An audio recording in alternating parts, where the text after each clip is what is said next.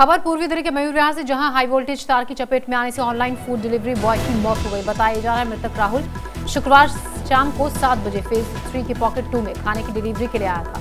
इसी दौरान उसकी बाइक फिसल गई और वो हाई मार्क्स पोल से जा टकराया। वहीं हादसे के बाद अनफान में उसे अस्पताल पहुँचाया गया, लेकिन राहुल को बचाया नहीं जा सका। वापस आते हुए एक नंगा पोल था। एमसीडी का है कि बीएसईएस का है ये हम कंफर्म नहीं है अभी। ठीक है आते हुए बच्चे का हाथ उसमें लगा और ऑन द स्पॉट उसकी डेथ हो गई।